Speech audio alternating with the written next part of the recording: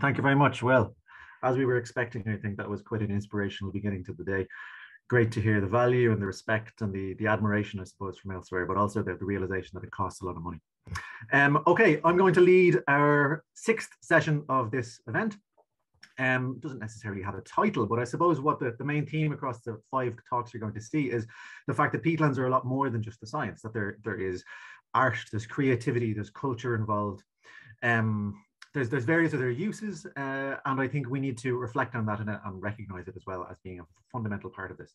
Um, we've got five speakers, as I said, and we have Tina Claffey, who is a world-renowned nature photographer. We have Fergal Monaghan, who is from the Hen Harrier EIP project. We have Alec Copland from Inis Environmental Consultants, Monica de Bath from Creative for Rathangan Meitheal, and many, many others, and our own Catherine Farrell, who will round off the session. Um, so without further ado, I'm not going to spend too long introducing because we're tight on time. I'm going to introduce Tina Claffey, please. So Tina, if you could share your screen and certainly turn your camera on as well, and we'll get things going. Great, Tina, you're working at your end. Can you share slides if you can? I can, one moment, please. Okay. No. I was told I spoke a bit too okay. fast yesterday, so I'll slow down. Great, okay. Uh, your screen is starting. I can see it at my end, so take it away. One second now, I'll just start and start. Okay, here we are. Um, good morning, everyone. I'm truly delighted and honoured to be here today as part of this wonderful peatland gathering. Hi, Tina. I'm just going to, um, there, yeah. yeah, sorry, just going to interrupt you there to go to full screen. Perfect. Thank you. Okay. So I've been fascinated with the flora and fauna of our bogs and wetlands for over 10 years now. I specialize in macro photography, which is extreme close-up photography, which allows me to capture the tiny wonders within this living carpet that can easily be passed by unseen. I'd like to share some of these wonders with you this morning, and I hope you enjoyed. So we start with sphagnum moss, really is the champion plant. Uh, without sphagnum moss, we'd have no bogs. Forming the living surface of this magical carpet and holding up to 20 times their own weight in water, these beautiful mosses also host the bog's plant and tiny fauna. There are so many species, each one a wonder to look at through the macro lens. And this is frog spawn, the first signs of life in the spring. The sun was shining and lit a reed below the surface, illuminating one cell of frog spawn. As I looked through the macro lens, it appeared as if an eye was looking back at me, the eye of Mother Nature herself. And surely one of the greatest architects in the bog is the caddisfly. It builds this amazing structure from reeds, which houses its body. This wonderful creation protects it from predators as it develops, and its weight keeps it submerged. This caddisfly has gained its wings, leaving its house behind. And this is bog bean. This little beauty um, can be found in the shallow bog pools. Its petals are fringed with long white hairs and are a joy to look at through the macro lens. Horsetail is an amazing vascular plant whose ancestors date back to the time of the dinosaurs 100 million years ago. This beauty is emerging from the bog pool, towering over the beautiful and very aptly named bog beacon fungi as the sun illuminates its yellow tips. So tiny, but so regal, this is a micromoth. I imagine that he's a king in the winged world, his regal wings like a cape, his furry crown, and that scarlet red eye looking directly at me. And this dark tussock moth caterpillar was feeding on bog cotton.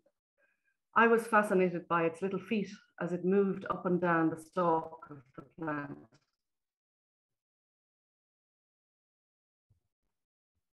So the sundew, this is the sundew, and the sundew is my favorite plant on the bog.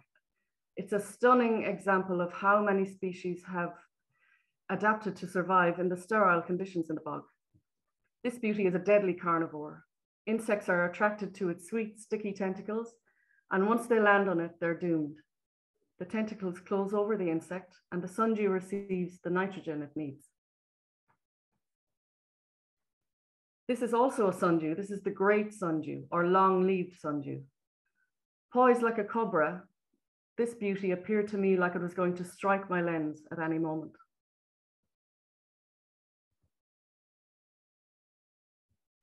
This is bog which is like a chameleon in the bog. It completely transforms its color throughout the seasons.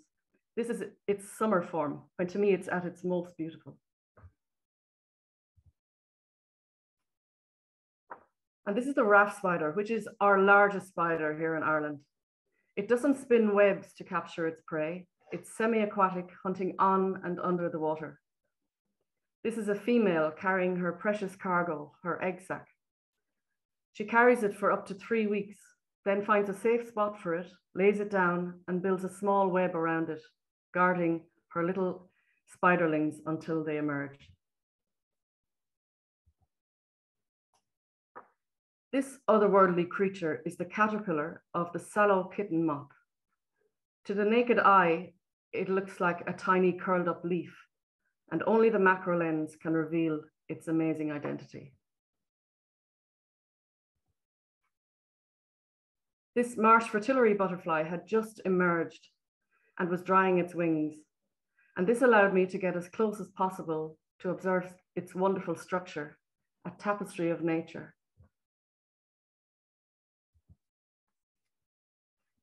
And these are mating emperor moths. I was deep in thought photographing this freshly emerged female emperor moth when she was joined by a much smaller male. Freshly emerged females release a unique chemical signature, a pheromone that's irresistible to males. The male can detect her from kilometers away. I felt so privileged to witness this rarely seen event.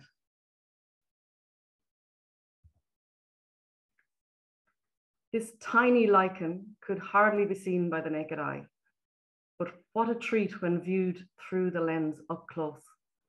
The morning dew had encapsulated its orange tip, creating this otherworldly orb of dew.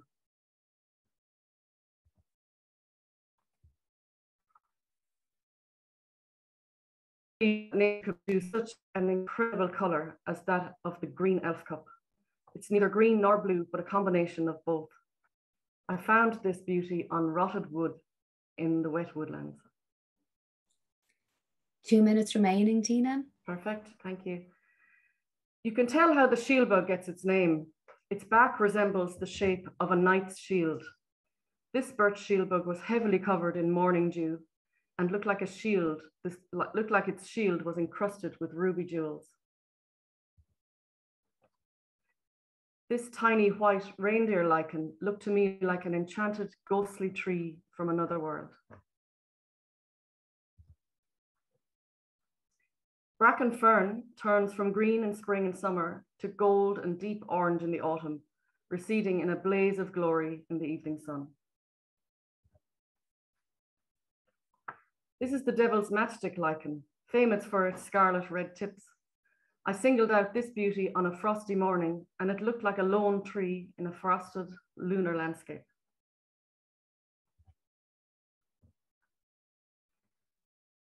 As I explored the bog in midwinter, a tiny sphagnum moss caught my eye as the sun lit up the ice in a shallow bog pool. When I looked through the lens, it took my breath away. The frozen sphagnum was perfectly preserved in the ice, as if in suspended animation, surrounded by a galaxy of tiny frozen oxygen bubbles. This is my book Tapestry of Light, which was launched in 2017. It's now sold out, but I am working towards a new book uh, for next year. Fingers crossed. And this is my website, tinaclaffey.com, and all of my social media um, handles there, Facebook, Instagram, Twitter, and email. So I hope you've enjoyed my presentation and um, back to you, Shane. Thank you very much. Tina, wow. That was like a bog meditation first thing this morning. I'm nice and soothed and calm again. Also strong evidence that size doesn't matter, right? okay, brilliant. Um, thanks very much for that. Really, really fascinating. Um, next speaker here is Fergal Monaghan, um, and Fergal's going to be talking about the landscape level interventions on blanket bogs and heaths. So, Fergal, if you can share, please, and take it away.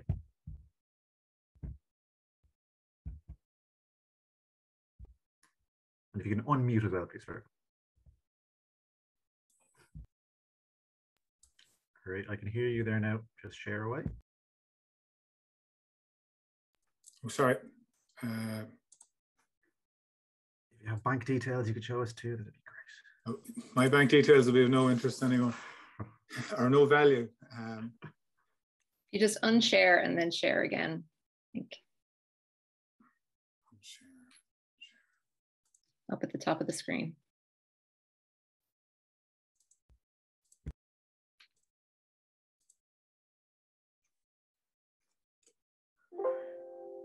Sorry, can you see that now? Not quite yet. Mm, not yet, no. Um, While you're working on that, Fergal, it's great to see Tina's book there currently available um, and a couple of questions coming in about when your next book is available. So maybe you can, you can come back to us later on about that news if there is any news. Um, okay, if you can go full screen there, please. Uh, Fergal, we can see it at our end. Can you see it? There we go. Uh, we're on presenter mode there. So if you can, um, I think it's display settings, is it, Gisel? Yes, if you go into display settings up at the top there. There you go. Are we in business? We are. Okay. We uh, thank you very much. Uh, the Hen Harrier project is about more than just hen harriers. We work with farming communities managing high nature value farmland across Ireland, and we try to support them in the delivery of a whole suite of ecosystem services. But the fate of a specialist predator like the hen harrier can tell us a lot about the landscape and how well it functions ecologically. The six hen harrier SPAs are spread across nine counties, from Monaghan to West Cork. They are hilly rather than mountainous, a mix of forestry, blanket bog, heaths, and grasslands. The farms, for the most part, are suckler operations and few could be described as financially rewarding. These areas are home to approximately 50% of Ireland's breeding hen harriers and are important for other species such as curlew and merlin. While the challenges faced in these landscapes are many, I would like to focus on just two, the impact of forestry and how we deal with wildfires. Forestry occupies 52% of the hen harrier SPAs, but its impact is not restricted to habitat loss. The fragmentation of what remains is a major concern. Forestry expansion was based on land availability and not suitability, a pattern of development that had a very negative effect on ground nesting birds. The hen harrier's hunting technique works well in open habitats, flying low, often along linear features, using its keen senses to locate the small birds and rodents on which it preys. However, in mature forestry, prey is scarce and often uncatchable for hen harriers. When rearing chicks, hen harriers need to catch a lot of meadow pipits and bank voles. In a fragmented landscape, this means traveling further from the nest to hunt. This slows down the supply of food with serious consequences for the smallest chicks. Forestry can also create ecological traps where birds are tempted to nest, but which expose them to a deadly danger from predators.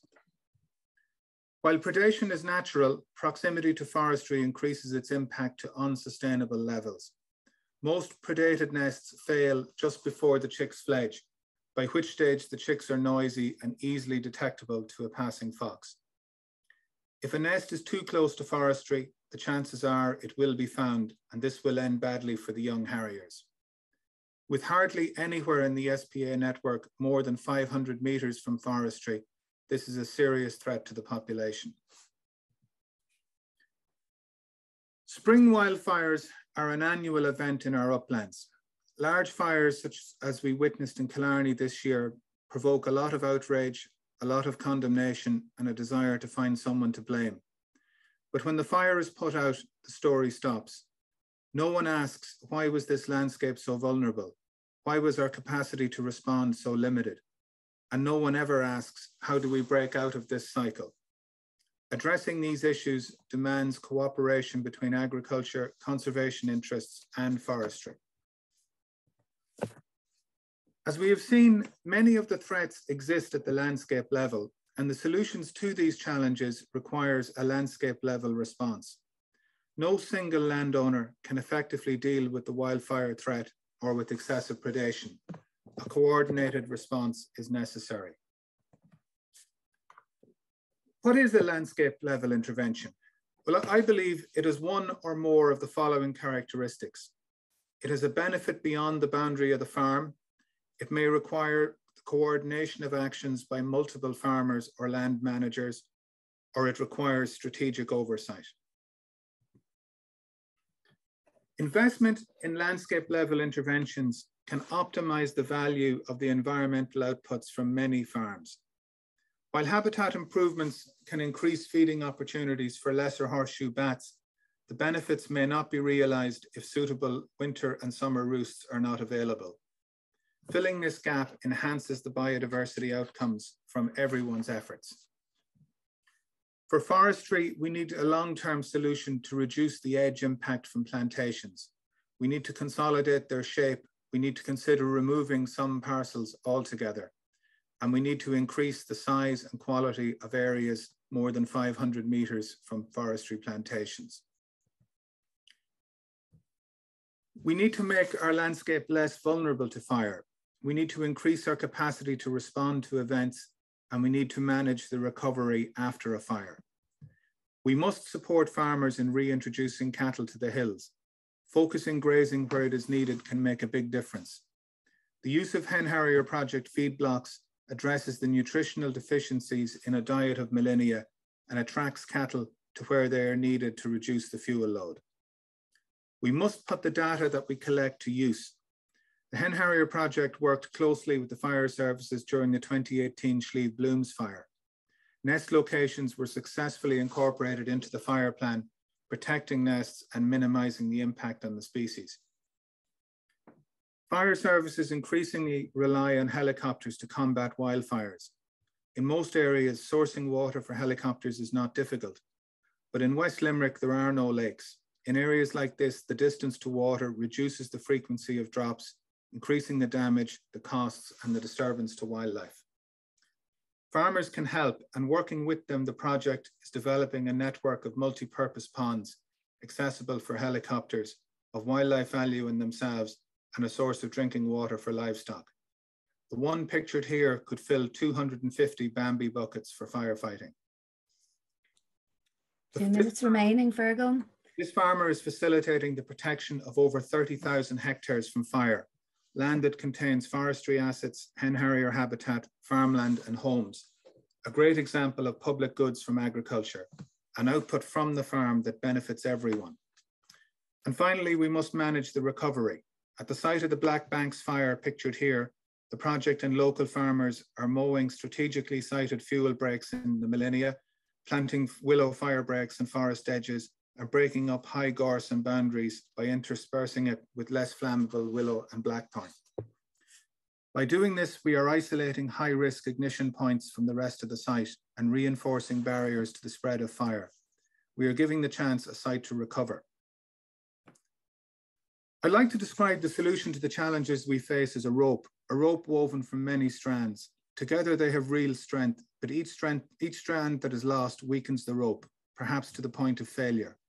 If we as a society wish to achieve a solution to the climate and biodiversity crises, we need to work as one. We need to make the rope as strong as possible. We have to move on from just collecting data to calculate and issue a payment in farm programs. We have to look at the data to inform a range of processes that collectively create the strands needed to give real strength to our approach. It looks complicated, but it is really quite simple. On the left, we have inputs, in the center processes, and on the right, outputs. It is a plan to optimize the value of everyone's efforts and ensure that real results are delivered. There are trade-offs involved and consideration to local priorities will have to be made. But with care, agricultural supports can play a useful role in maintaining these habitats, provided we move our focus beyond the field and farm level and consider the larger landscape and community issues.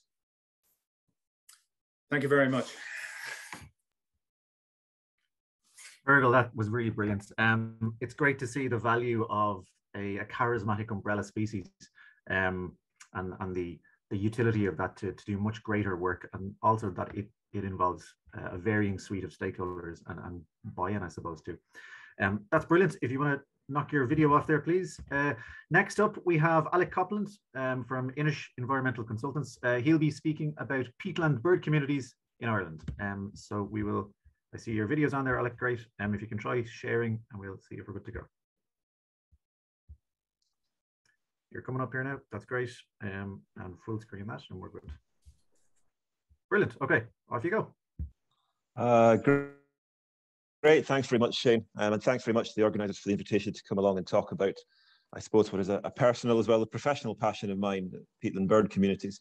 And I guess just to follow on from Fergal's talk there, that the peatland bird communities that we have, I mean, the birds themselves are special, but they're the flagship for um, the much wider landscape, the ecosystems um, that that occur in these peatland areas and, and you know they really go down to you know from following on from Tina's talk about the macro level that if it wasn't for this wonderful unique habitat and species um, that occur there we wouldn't have these fantastic birds to look at.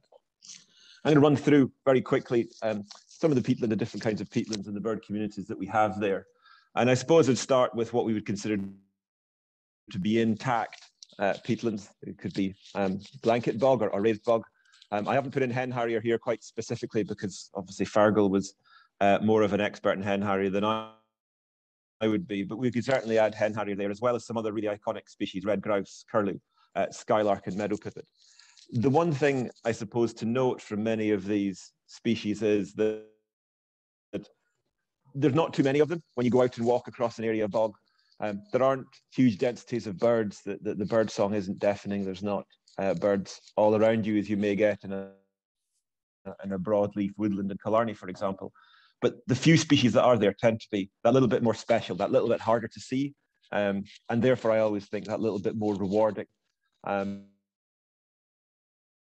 we can imagine walking across a section of bog, and in the distance you may hear um, a red grouse calling, you may hear the call of the curlew, you may have a skylark singing up in the air above you. These are very evocative feelings that they, they kind of stir, um, I think, emotions within us. Um, and many of these species are, are, species of very serious conservation concern.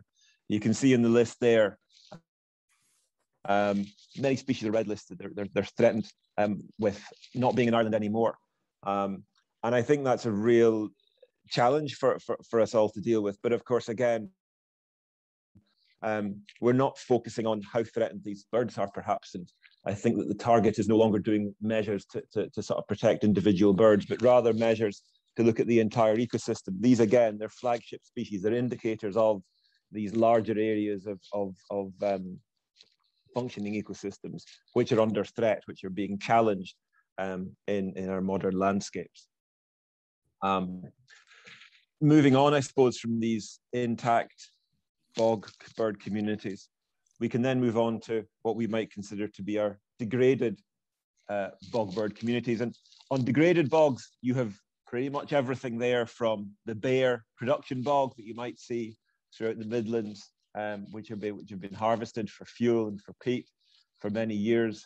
Um, you may see areas that have been planted with conifers, but equally, you may see areas of bog that have been drained and where woodland has come in um, onto the drier uh, surface, and those woodlands will have very different uh, communities of birds um, than the open landscapes would. There may also be open lakes, um, uh, and we see that, see that on some of the cutaway sites which have been um, drained, where the peat was extracted and where um, the pumps were turned off following peat extraction. We have large lake systems. Um, and where that's happened for a long time, we may see reed beds starting to develop. And these landscapes become incredibly diverse, incredibly complex. Along with um, these areas, we do still have some special birds that come in and use these degraded sites.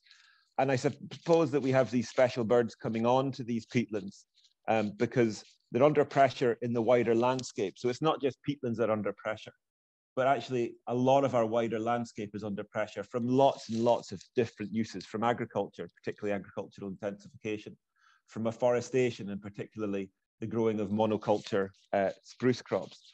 From our ever expanding um, population and, and the, the, need for houses and developments and towns, um, that are putting more and more pressure on wildlife and forcing them into um, more and more sites that perhaps are not ideal, that are perhaps not perfect for them. Um, and many of the bogs, whether they're degraded or whether they're intact and in very, very good condition, nevertheless all provide really important habitats, really important resources for our wildlife, um, where they just don't see it as, as much. They're coming under pressure, I suppose, through much of the wider countryside. So uh, that leads us on to, well, what can we do um, if we are talking about rehabilitating bogs? And, and that was talked about, I suppose, yesterday. It's been talked about this morning already. It's going to be talked about again today. How do we restore? How do we rehabilitate? What do we do with our peatland? Um, and there's a huge conversation about this, as Matthias was talking this morning in relation to the Netherlands. You know, is there a use for these uh, areas that were once regarded as being a wasteland through the Midlands? Um, is there a need to turn these into farmland? Um, and we might think that um, that would be a lost habitat, but if you look at some of the farmland areas um, in, say, around Boora, um, where there are good numbers of farmland birds occurring, lapwing particularly, um, and lapwing is a farmland bird, it's not a peatland bird at all. But a lap, lap, lapwing have very few breeding sites to the point now that um, I would suggest that some of the, the um, the cutaway peatlands, the Bord na Móna peatlands that have been turned into agricultural land have actually become nationally important for breeding lapwing. Um, but that's not to say that lapwing are a species of bog. And I'd argue if you're doing bog restoration, when you have lapwing there, you're perhaps not doing it right. The lapwing like dry, open landscapes. Uh, and that's perhaps not what we want to see on our peatlands. We want to see them re-wetted. And we've heard about the importance of re-wetting peatlands for carbon sequestration. So perhaps we shouldn't be looking at some species like lapwing, which will come into onto the bogs for sure, but maybe they're not what we want to see um, when the bogs are fully restored or fully rehabilitated. We might want to see species more like red grouse, like curlew, like redshank, because they are emblematic of a wetland landscape, of a habitat where there is um, these rarer, scarcer species, the more typical species of bogland. Um, but of course, our hands are uh, tied to some extent in terms of the rehabilitation or restoration of our peatlands. Um, and as we would have heard yesterday, there are so many factors at play when it comes to tackling peatlands in terms of the depth of peat, in terms of the hydrology, in terms of how the water is moving up or down or through the landscape. Um, that it makes it a real challenge in order to have this one size fits all when it comes to restoration or rehabilitation. And obviously, there's huge pressure on our peatlands um, in terms of forestation. Um, they're seen as being sites where we could be planting trees. Um, and Ireland obviously has targets in relation to, to forest cover. Um, some of our peatlands are really, might be really important and can be used for renewable energy projects. Um, and that's another argument, which is obviously a hot topic at the moment. And indeed, there's a good argument to say that it's a good stopgap in terms of replacing um, the fuel, the energy that was being generated from peat, and replacing that with renewable energy uh, in order to meet Ireland's renewable energy targets. And that is perhaps it's remaining there. Thanks very much. And that's something renewable energy targets is perhaps something that we do need to consider on the use of some of these peatlands, particularly where there's very small areas of peat. But that needs to be balanced again with what peat, what carbon is still being stored there, and how do we hold on to that carbon uh, within that landscape in order to mitigate against the impacts of climate change. So we have huge discussion um, that needs to be made in relation to the future of these peatlands um, in order to protect biodiversity, in order to protect the birds and uh, you know the ecosystems that support those birds in the wider landscape. And of course, um, in the future, we don't necessarily know exactly what will happen um, when we see the large tracts of Bord na Móna bog that uh, Mark McCorry is going to be talking to us about uh, later on today um, with the, the, the, rehabilitation program. What will appear there? Well, as I'm sure many of you will know, we've already seen um, that some of these um, rehabilitated sites being colonized by, by species, breeding waders coming in, but we don't know what the future will hold in terms of how those habitats will look and in terms of what species will come in onto those landscapes. And I think it's a very, very exciting time to be involved in peatlands.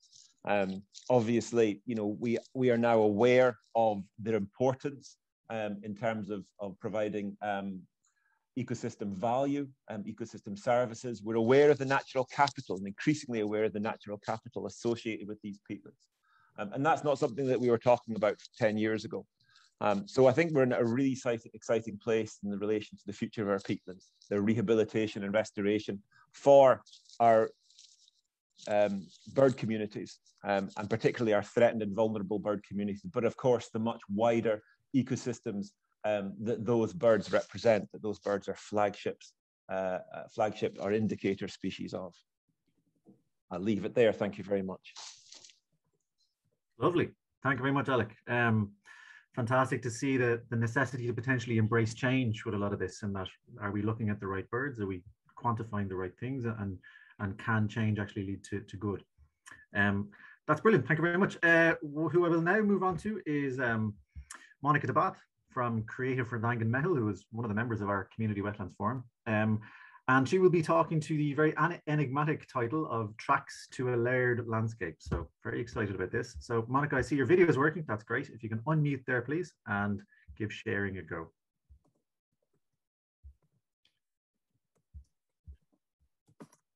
So yeah, audio working. That's great. And share away. So you're coming up here now. And if you can just go full screen on that, please. Um, Lovely. We can see it at our end. You're good to go. Okay, great stuff.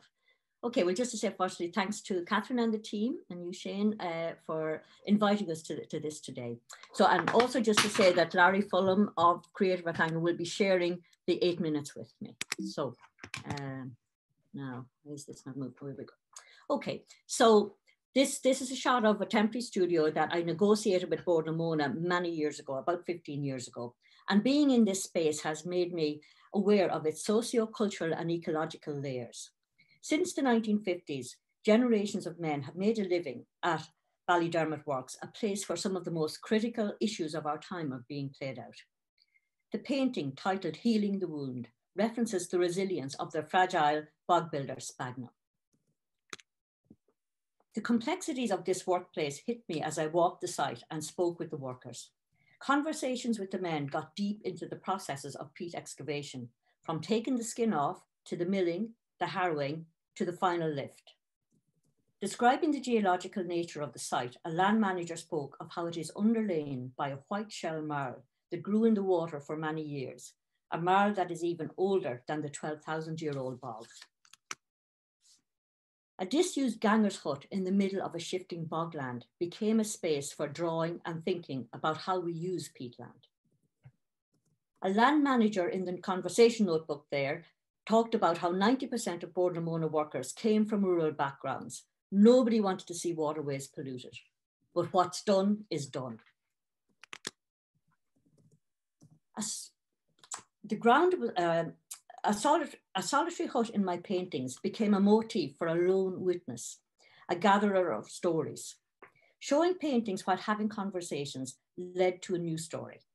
One of the men, Mock, selected a piece of partial cutaway for Plot Capock, an art intervention that references Bord na Móna's practice of trial plots to test new uses for cutaway.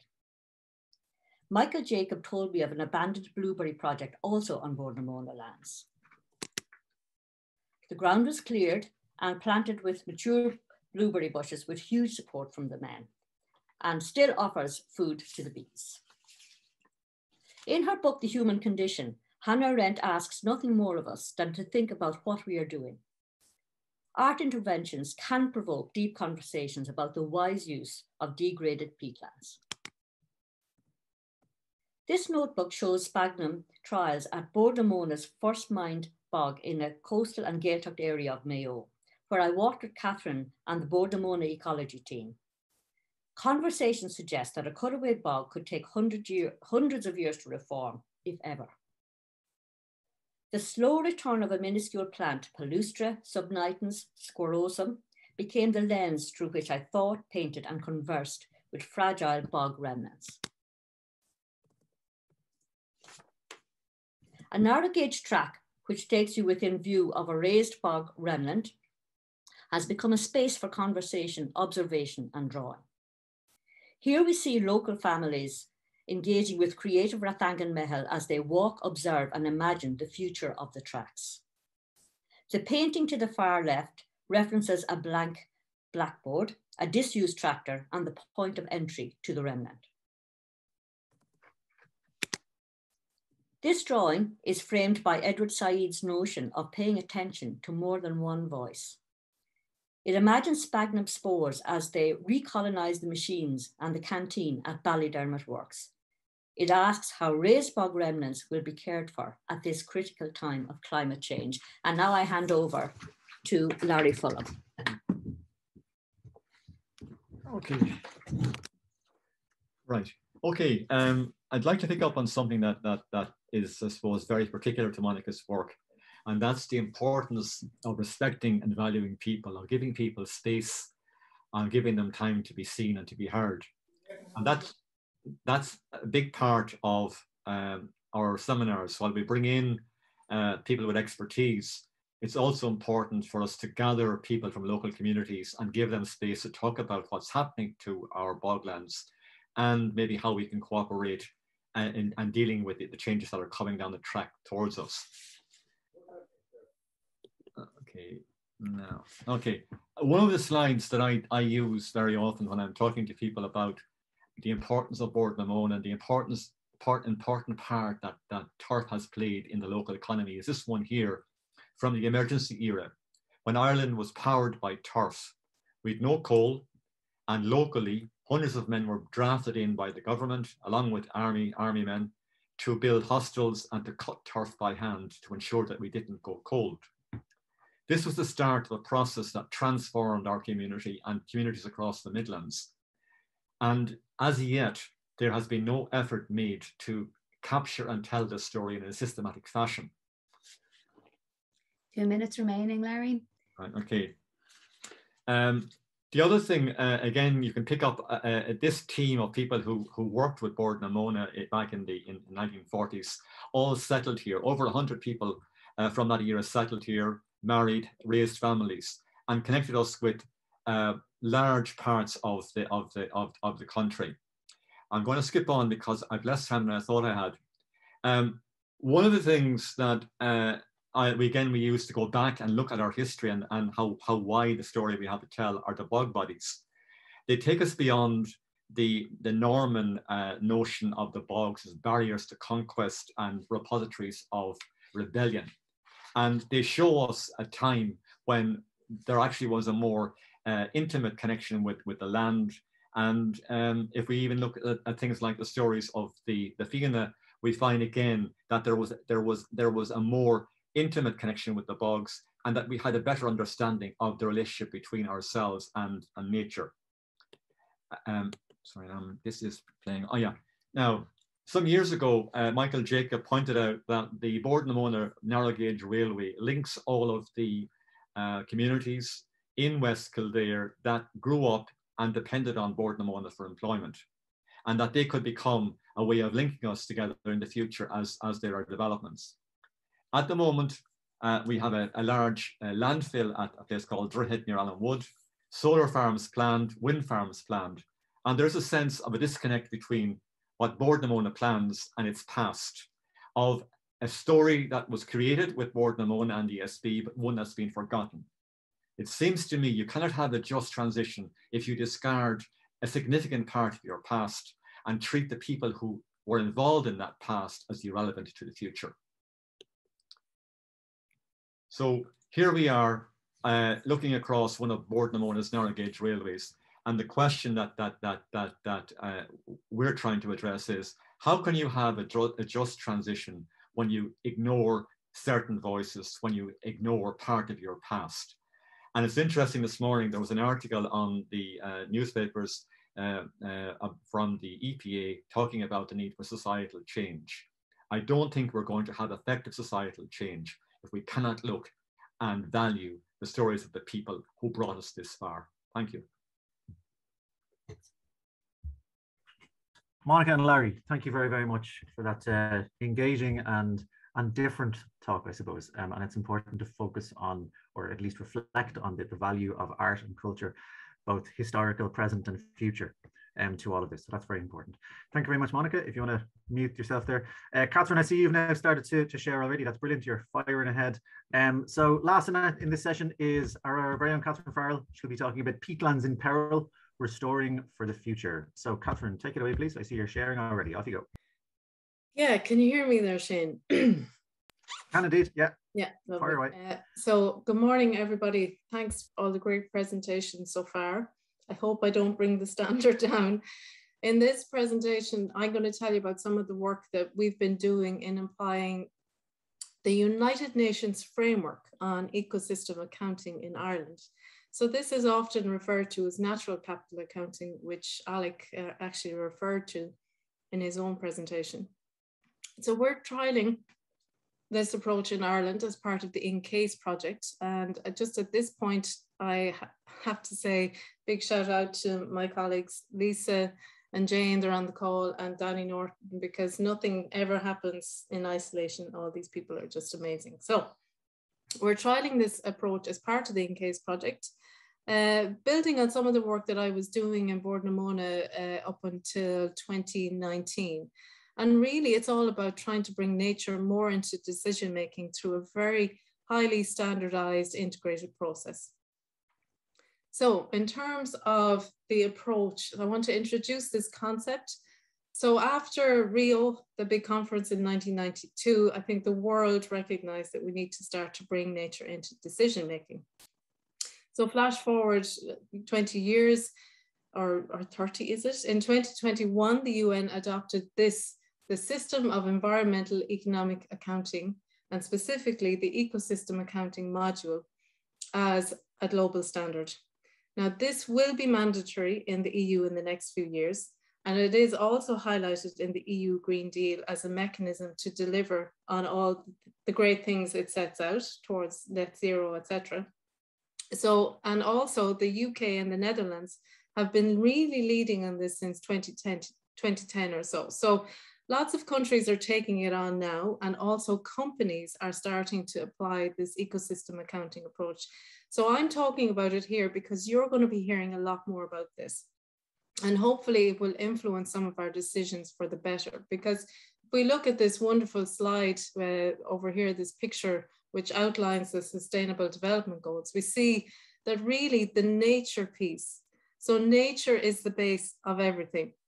Society sits within nature and economy is a subset of all of that. So we need a really, really good base if we're to get all these other things working really well. So this is a standardized way. We're working with the lead authors on it. So we're really in a good place in terms of influencing how it develops into the future, but we need to get it right from the Irish context. And just to say that the CSO did publish uh, an ecosystem accounts for peatlands and heathlands in 2018, so do check that out. So what are we doing? So this is a snapshot, and I say a snapshot. We're working at catchment level. Um, why a catchment level? Well, catchment is a physically distinct unit. Uh, it, it, works, everything within the catchment uh, is working together. And as Donal Daly has been really championing for a number of years this integrated catchment management approach. So we're working on two catchments, uh, one on the East Coast, uh, the Dargle, and one in the Midlands. So the, the catchment on the East, very much uh, characterized, it has about 20% cover of peatland, mostly upland mountain blanket bog um, in a mosaic with wet heathland. In the Figile we can see here that it's, it's in the heart of that Bord na Móna landscape. So what we've done is we've mapped the extent of the peatlands, which is shown here in red in both catchments. What you will notice is we have a gray area here, and this actually represents what used to be the extent. So in both catchments already, we can see that the area of peatland has been reduced by almost 50%. And then we assess the condition based on available data sets, but then also site visits and using aerial imagery. And we have assessed the condition to be bad. Not really surprising given, given that when we listened to Ray Flynn talking yesterday, he struggled to find at least one catchment in Ireland that hadn't wasn't actually in bad condition in terms of peatlands. So we have uh, assessed it using data and using eco ecology power. What does that look like? So in the Dargle, we can see overgrazing, we can see burning, we can see effects of historical um, peat cutting, and we can also see this absolutely desperate picture that uh, Faith Wilson sent me, which shows me that, you know, most of the peatlands degraded in the Dargle, but not only degraded, but actually getting washed off down the hills. So that's pretty bad. So we were right in assessing that it was bad. Then in the Figile of course, we know that actually most of the peatlands are in an industrialized uh, format, as well as some very sort of hungry looking cows here that are trying to eat a bit of grass off some peat fields. And not to say that these, you know, we're also looking at, you know, the cultural um, values of these landscapes. And I just threw this in here with, you know, maybe the peatlands are in as good a condition as this poor fella here on the left-hand side. So peatlands need help. Okay, so we found that through using this ecosystem accounting approach, what's the extent, what's the condition. So now let's go, we've looked at the stocks, let's look at the flows. Two minutes remaining, Catherine. Yeah, thanks. And so really this slide is as much to frighten you, to let you know that we've been really busy trying to build up a list of the array of ecosystem services that are delivered by peatlands. And, you know, this is just a snapshot. This isn't the full list, but this is what we've tried to gather data on. And the key message is in both of these catchments, we need to get out of the red and into the green. Uh, yeah, so pretty much exactly what it says here. And, and just to say, ESALT, who's helping us here, is actually working on cultural ecosystem services next week uh, after this event. So my concluding comments are based on the approach that we've taken, working at catchment scale, we can see that the peatlands in these catchments need help. They're in need of restoration. We need to return them to good stock condition and good flow. So that's a key message. And I just want to say peatlands are for life. So, you know, having a two or three year restoration program, you know, it's really not good enough. We're, at, we're on the cusp of the UN decade on restoration. So it is time to restore, but where? Who's going to do it? Uh, you know, we talked about the Bord na Móna peatlands, but who's going to take ownership of those uh, when Bord na Móna is, is finished with the rehabilitation program? biodiversity is local. Alec talked about the species. We've got to take that into consideration. And we have to sustain the livelihoods in these healthy peatlands. And all of that must be based on science with open communication, transparent decision making. And I think this ecosystem accounting framework is a useful tool um, for that. So we need a strategic restoration plan. It can be based on ecosystem accounting approaches. And we need to get ready for all the fires and all the bog slides that are coming our way. And as Fergal pointed out, we need to actually get practical about that. Peatlands are for the future. Uh, we need to crank up the engines, get the bogs on track. We'll see some benefits in our lifetime, but really, you know, it is about the future. Uh, the long-term benefits are really, Diana alluded to it, that we, we want to leave this, these peatlands in better stock than we got them. So that's the challenge to us all. There is some really good initiatives here, and I think that's what we need to work on, the results-based payment schemes, but also I want to mention the business and biodiversity platform, which has just recently been established because business can really play a role. And Shane pointed out the gap in the funding. Um, and especially since we're all buying into this wonderful bioeconomy. So thank you. I hope, I know I went over time, so apologies on that, but everyone plays a role and thank you. Lovely. Thank you very much, Catherine. And thanks for the, the first view of your latest album cover there as well. It's great to see. Um, that's fantastic. It's it's we're quite tight on time now, but we do have a, a couple of minutes for some questions. So um, there are some coming through on the the question and answers there, but um, do please submit them onto the chat as well if you like, or, or into the Q and A section.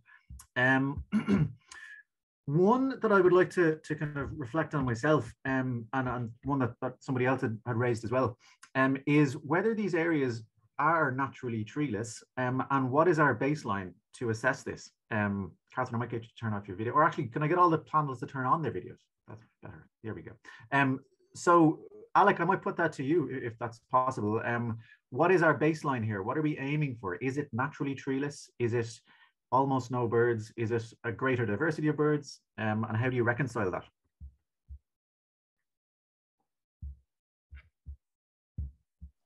Thanks, Shane. It's difficult to know, and it depends where we start.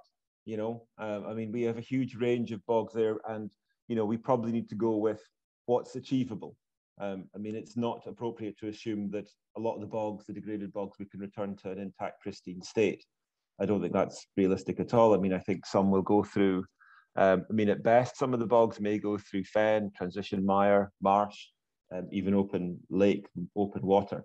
So I don't think we're going to be able to develop sort of peat forming habitats in the vast majority of our degraded peatlands. Um, but what we can do, I suppose, is it's a conversation to have, you know, what are the objectives for these sites? What, um, what do we want to see there? Do we want to see uh, peat forming habitats? Is that the best solution? Is that the best outcome? Or are there other outcomes? Is it, I mean, in some cases, it won't even be achievable, you know, where cutaway peatlands have gone down to the, the you know, the, the, the bedrock. Um, it's very unlikely that you're going to see, um, you know, it'll be thousands of years before you could even optimistically develop peat forming habitats there. So we kind of need to look and see what do we have and what can we realistically achieve. And it's going to have to be decided on a case by case basis. It's not going to be something that we can perhaps put blanket or generic measures or approaches on. But we need to sort of rely on the experts, the people that have you know done the research, that know what's there and know what is achievable in order to try and get the best outcomes. You know, we need to we can't can't be putting a sort of square peg in a round hole. It would be wonderful if we could return to intact peatlands, but you know that's not something that's going to be an option for the vast majority of sites in any kind of realistic time. Mm. That's okay. Yeah, I, I, get that that it is very site specific and that we can't have a, a one size fits all. Um, I, am having a look in the chat window here. There's a couple of other things coming in. Um, again, one thing that I might try and coalesce across the various smaller questions and, and comments and talks is um, is something directed at Monica and Tina here from the the more creative artistic side. Um, in terms of oftentimes artistic projects um, being a bolt on to scientific projects to uh, you know round it or, or, increase cultural engagement or, or the longevity of these projects.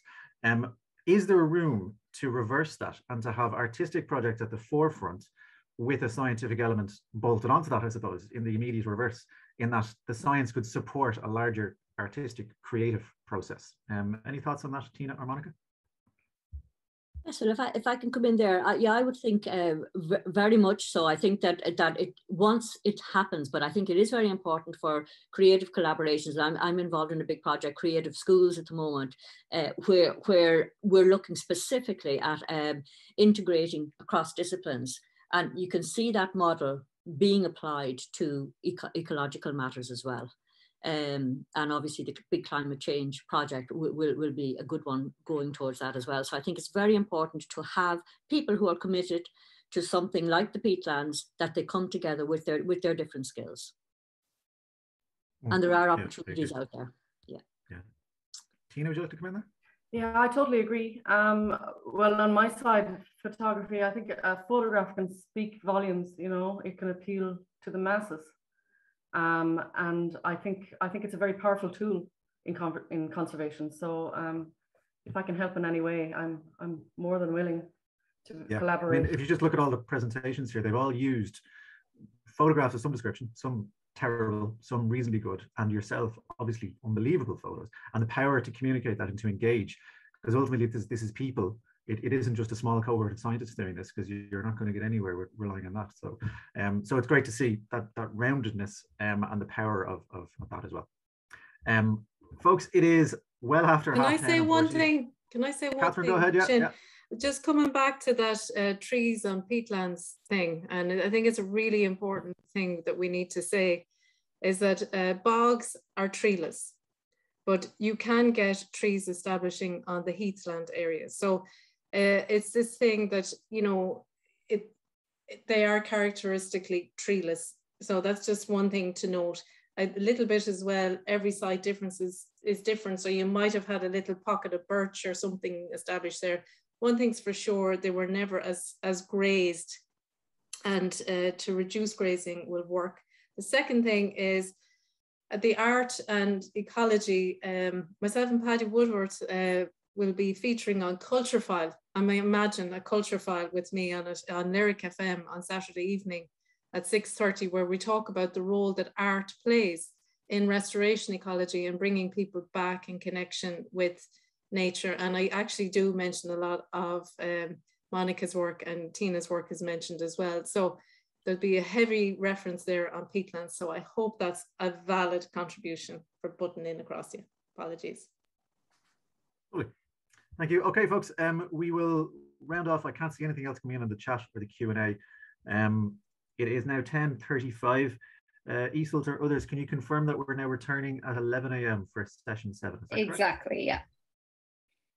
Brilliant. Okay. Um, thanks very much to our group of five speakers, obviously to Matthias and Catherine before that as well. Um, we will reconvene at 11 a.m. on the dot earlier if possible to get things rolling.